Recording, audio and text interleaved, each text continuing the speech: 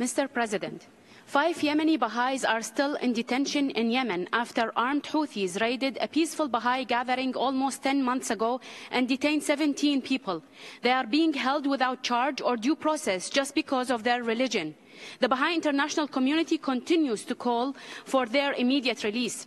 Along with many other Baha'i Yemenis, the 12 that have been released are under continuous surveillance, jeopardizing their safety and restricting their freedom of movement. The 12 were forced to sign undertakings for their release and then forced into an indoctrination program intended to induce them to recant their Baha'i belief.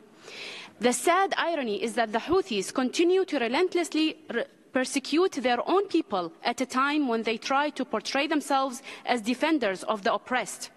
We commend the ongoing efforts of the Special Envoy for Yemen in securing a UN-backed roadmap to end the civil war in Yemen with the crucial participation of all parties. This process presents a significant opportunity to address the critical issue of discrimination against minorities and to build a united and inclusive society. Ensuring the full participation of all segments of Yemeni society is a fundamental to building a lasting peace and fostering the well-being of all Yemenis. The Baha'is of Yemen, along with all others, are striving towards this shared aspiration of a more prosperous Yemen. Thank you.